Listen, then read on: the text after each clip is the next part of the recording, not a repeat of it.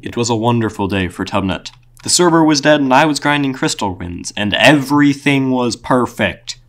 That is, until peace was shattered.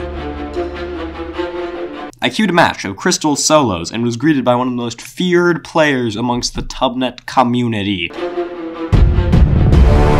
Princess Vanessa. They hold over 2,000 Light Strike wins. They almost got like 3,000. It's kind of crazy. They're first place in Battle Royale and are also the highest leveled player on the entire server at like 5 billion or something. I set myself the task of defeating this person with even less of a life than me. Do you know how hard that is? The game started out rough. I rushed my neighbor, broke their nexus, and retreated. But then, they climbed on top my base, which basically means I can't leave my base because then they'll break my nexus, and I don't want that. So I pretty much just had to wait for like an hour for them to come down, and then I murdered them. And then from there, I just flew over to Vanessa's base. Vanessa flew over to my base. We traded nexuses. After rushing to middle, I mined as many strong shards as possible. I knew I would need better equipment if I were to win this fight. I also realized that Vanessa had full diamond gear while I only had stone gear, which isn't which isn't good. Uh, I almost fell off the map, but Boost Orbs saved me by Boost Orbs, kids. It'll save your life, man. Halfway through our fight, I used Boost Orbs to run away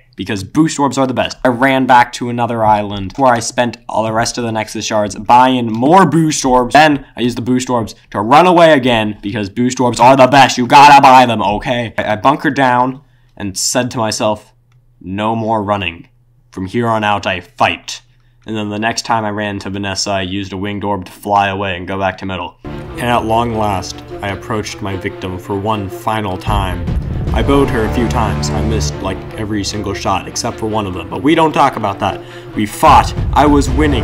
Vanessa retreated. I flew towards her utilizing a winged orb I had saved in my inventory. I caught her off guard and knocked her into the void, and it was anticlimactic. But that doesn't matter because she didn't say GG. Saying GG is the most important part of an intense fight. I mean, I never say GG. That's not the point though. Okay, just don't be all like a don't be kinder to uh, your opponents. And no i'm not going to be more kinder to my opponents because they don't say gg i mean i also don't say gg but that's not the point. Okay subscribe